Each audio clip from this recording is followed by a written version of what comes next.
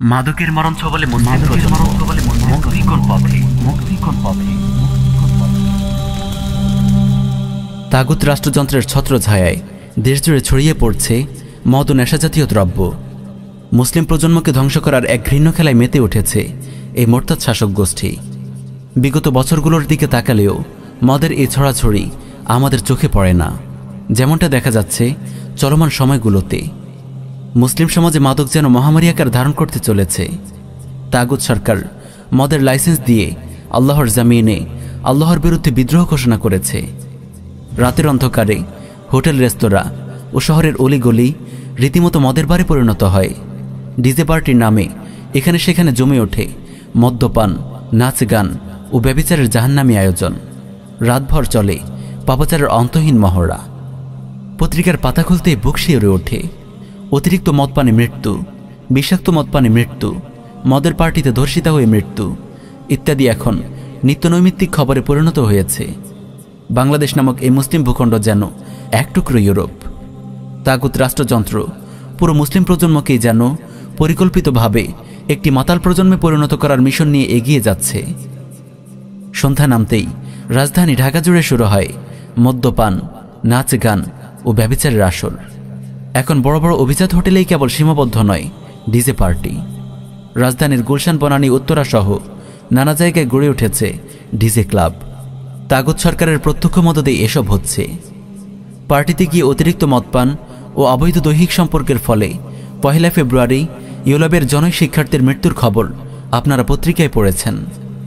ঢাকা ট্রিবিউনে প্রকাশিত একটি খবরে দেখা যায়, বিষাক্ত মদপানে এগারো জনের মৃত্যু হয়েছে। দোসরা ফেব্রুয়ারি প্রথম আলোর একটি রিপোর্টে দেখা যায়, বগুড়ায় মদপানে মারা গেছে পনেরো জন। প্রিয় দেশবাসী, পত্রিকায় যে নিউজগুলো হচ্ছে, এগুলো মদ খেয়ে মৃত্যু হওয়ার কারণে হয়েছে। অন্যথায়, মুসলিমদের এই দেশে মদ খাওয়া একরকম অনুমোদিত। মোরতাদ সরকার মদ আমদানের লাইসেন্স দিয়ে রেখেছে। সরকার অনুমোদিত সোজা পথে কিংবা চোরা পথে দেদার্সে ঢুকছে বিদেশি মদ। আমরা এতদিন হারাম সহশিক্ষা ফ্রি মিক্সিং লিভ টুগেদার, অবৈধ প্রেম ভালোবাসা ইত্যাদির বিরুদ্ধে বলে এসেছি। আজ অত্যন্ত দুঃখের সঙ্গে বলতে হচ্ছে, তাগত সরকার মুসলিম প্রজন্মকে ধ্বংস করার পথে এখন আরও এক ধাপ এগিয়ে গেছে। এখন মুসলিম সমাজ প্রবেশ করেছে ডিজে পার্টির নামে প্রকাশ্যে নাচগান মদ্যপান ও জেনাবে বিচারে। এখন কেবল অবৈধ প্রেম ভালোবাসা নয়, এখন অবৈধ শারীরিক সম্পর্ক ও ধর্ষণও হয়ে উঠেছে দেশের নিত্যনৈমিত্তিক ঘটনা। প্রিয় উম্মা, মুসলিম প্রজন্ম আজ তাগুত সরকারের হাতে জিম্মি হয়ে পড়েছে। এই মোরতাদ রাষ্ট্রযন্ত্র মুসলিম সমাজকে ইউরোপ আমেরিকার মতো পশু সমাজে পরিণত করার পথে অনেক দূর এগিয়ে গেছে। ক্রমশ এই গতি দ্রুত হচ্ছে। আল্লাহর নাজিলকৃত সংবিধান কোরআনুল করিমকে বাদ দিয়ে মানবরচিত কুফরি সংবিধানে যে রাষ্ট্র পরিচালিত হয়, সে রাষ্ট্রের এমন পরিণতি না হয়ে উপায় বাকি। যতদিন আল্লাহর জামিনে আল্লাহর বিধান কায়েম হবে না, ততদিন মুসলিমদের কল্যাণের কোনো আশা নেই। আমরা কোরআন থেকে যতদূরে সরব ধ্বংস ও অধপতনের দিকে আমরা ততই এগিয়ে যাব।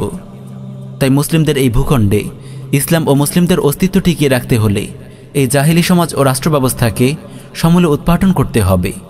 কুফুরি সংবিধান ও রাষ্ট্রযন্ত্রের বিরুদ্ধে সর্বাত্মক সংগ্রামে আত্মনিয়োগ করতে হবে।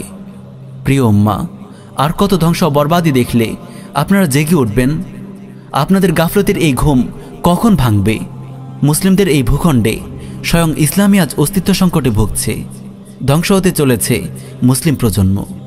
এই কুফরি গণতন্ত্রের প্রতারণায় আর কতদিন নিজেদেরকে প্রবঞ্চিত করবেন, এখনও কি সময় হয়নি?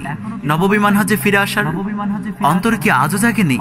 দারওয়াহ এরাদাত ও জিহাদের মোবারক পথে ওঠে আসার হিম্মত।